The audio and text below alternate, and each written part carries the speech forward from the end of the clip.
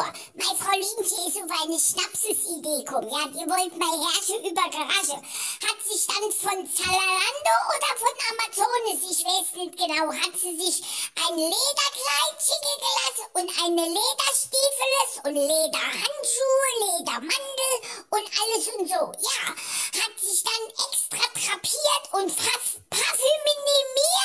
und sich mitten in die Wohnung gestellt, als mein Herrscher heimgekommen ist.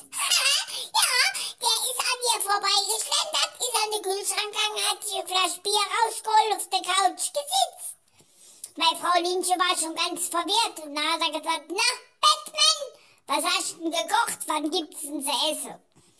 Ja, Samo, da wäre der alle, alle Farbe aus dem Gesicht gefallen. Wenn das tatsächlich passiert wäre, die wäre ja gar nicht in das Ledergerocks reinkommen. Äh, nee, das habe ich jetzt nicht gesagt. Also jedenfalls, es war ein Witz. Es war nur ein Witz. Meine Frau Lindschi steht Leder, die steht besser auf Baumwolle. ja, das ist atmungsaktiver und lässt sich in der Wäschmaschine wäschen. Jawohl, ja. Also Freunde, ich wünsche euch heute einen wunderschönen Tag. Ja, und überrascht mal auch eure Männer. Mal gucken, was dann passiert. Bis dann, tschüss. Euer heute sehr neckiger Muckli mit die weiße Socke.